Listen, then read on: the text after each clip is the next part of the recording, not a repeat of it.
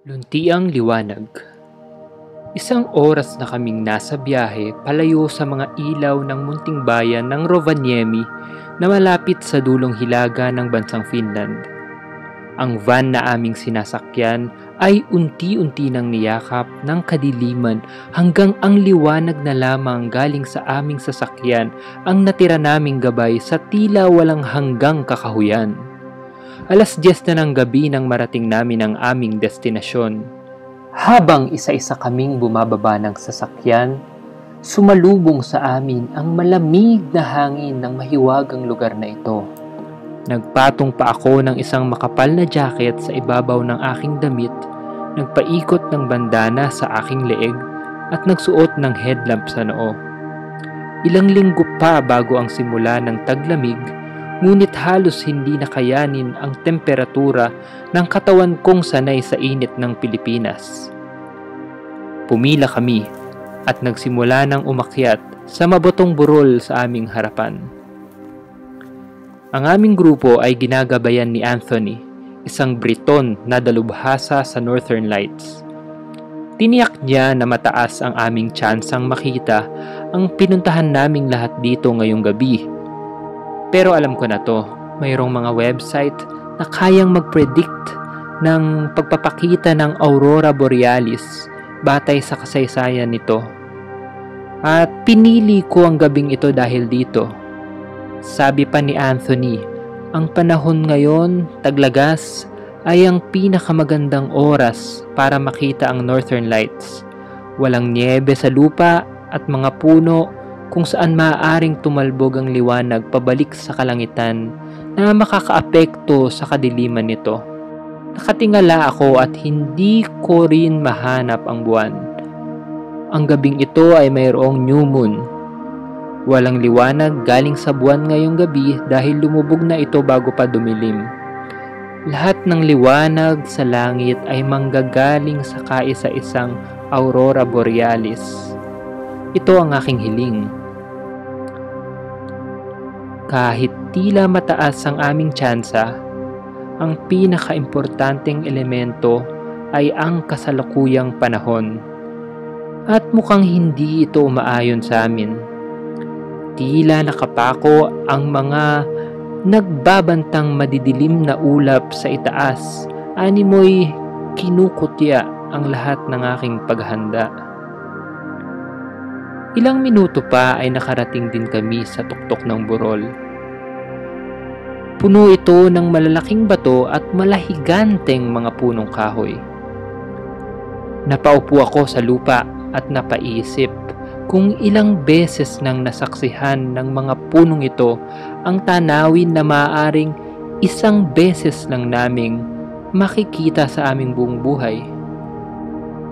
Habang naghihintay, Nakatingala at nakatutok ang mga mata naming lahat sa langit, nag-aabang ng pagbabago ng kondisyon ng mga ulap. Sinamantala ni Anthony ang mga oras na ito upang ikwento sa amin ang kasaysayan at mga alamat sa likod ng sikat na mga ilaw na ito.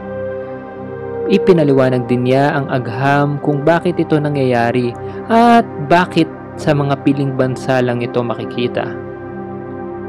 Gamit ang aming mga camera na may long exposure, may lumalabas na na berdeng patse ng ilaw sa larawan.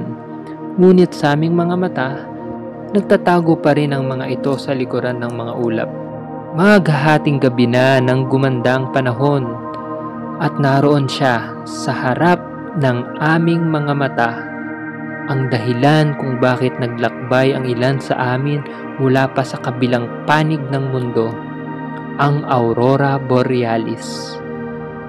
Mga sinag ng luntiang liwanag na nakaungos patayo, sumasayaw sa langit tulad ng paggalaw ng kurtina at bumubuo ng iba't ibang hugis ng arko. Ang aming pinagmamasdan ay epekto ng pagbangga ng oxygen atoms sa atmosphere sa solar wind mula sa araw. Pero sa mga sandaling iyon, nawala sa isip ko ang lahat ng siyensya na ito. Tanging paghanga sa kagandahan, kadakilaan at kariktan ng kalawakan ang natira. Sabi nila, ang mahalagang bagay ay mailap at maaaring mawala sa isang kisap mata. Siyang tunay, humarang muli ang mga ulap sa kalangitan di nagtagal. Naghintay pa kami ng ilang sandali.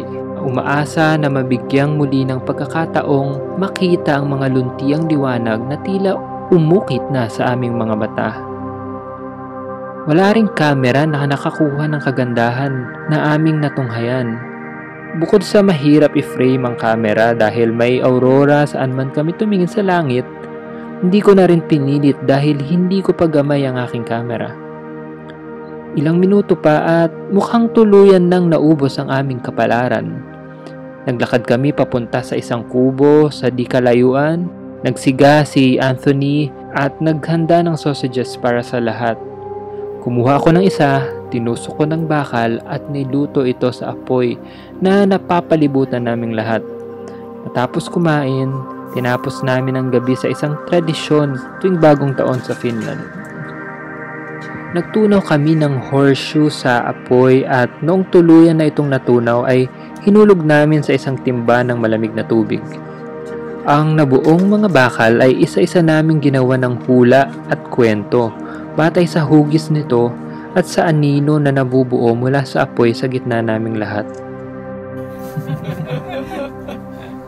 It's like somebody sitting in a chair. Yeah? Huh? I don't know what that means. This is actually, with, with candle light, this would be really interesting.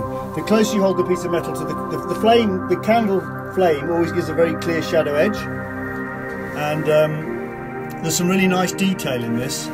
Um, from the basic shape I can't get much, but there's a lot of detail. So when you, by holding the piece of metal close to the flame, the shadow becomes very large. And um, the fine detail is just as important as the shape, but we can only look at the basic shape with these lights. You'll never know! You'll never know! Ah, you sir. You must pursue your ambitions. Now is the time. Hi guys! Para sa mas maraming mga exciting adventure and travel na mga kwento, mag-subscribe kayo sa channel ko dito sa YouTube. Click nyo yung subscribe button and hit nyo na rin yung like and pati yung notification bell. Salamat!